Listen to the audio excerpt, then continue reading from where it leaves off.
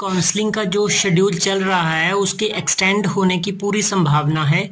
Valid proof मिलने के बाद ये वीडियो निकाल रहा हूँ। मेरे को काफ़ी ये क्वेश्चन पूछे जा रहे हैं यूट्यूब पर कि हमारा रिज़ल्ट अभी ग्रेजुएशन का आउट नहीं हुआ तो हम क्या सेकंड काउंसलिंग में भाग लेंगे?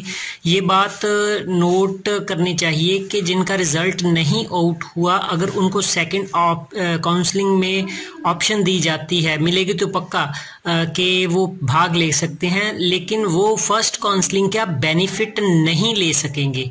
दैट इज़ वाई यूनिवर्सिटी को रिप्रेजेंटेशन जा चुकी है। मैंने भी वीडियो बनाया था, लेकिन अपलोड नहीं किया कि आप लोगों को ये चाहिए कि आप यूनिवर्सिटी को ईमेल के ज़रिए ये बताइए कि आपके रिज़ल्ट आउट नहीं हुए तो क्या हमारे लिए क्या प्रोविज़न है, जहाँ उसको डेट एक्सटेंड करने के लिए कहा जाए।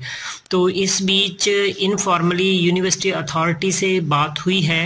उसमें ये पता चला है कि आज शाम तक जो डेट हैं, वो एक्सटेंड हो जाएगी। ट्वेंटी फ़र्स्ट से लास्ट डेट सी नेचुरली है कि अब जब तक रिज़ल्ट उनके नहीं आते, उनकी वेट की जाएगी, जहाँ कोई और ऑप्शन होगा। लेकिन जो मुझे सूचना मिली है, उसमें यही संभावना है कि हर हालत में ये डेट एक्सटेंड हो जाएगी।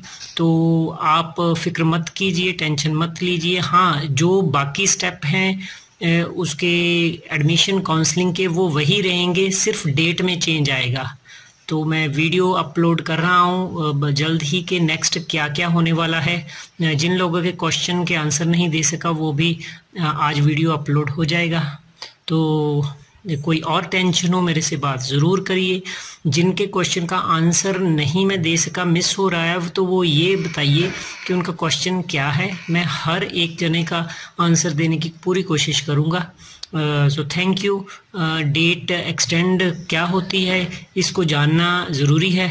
और एक बात के डिस्क्रिपेंसीज वाला वीडियो नेक्स्ट आएगा। uh, उसमें आपको ध्यान रखना होगा क्योंकि उससे मेरिट में चेंज आने की संभावना होगी।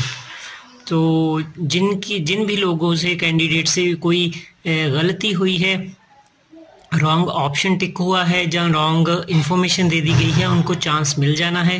तो नेक्स्ट वीडियो में वो बता देता हूँ। Thank you doctor Tirath Singh learn to actualise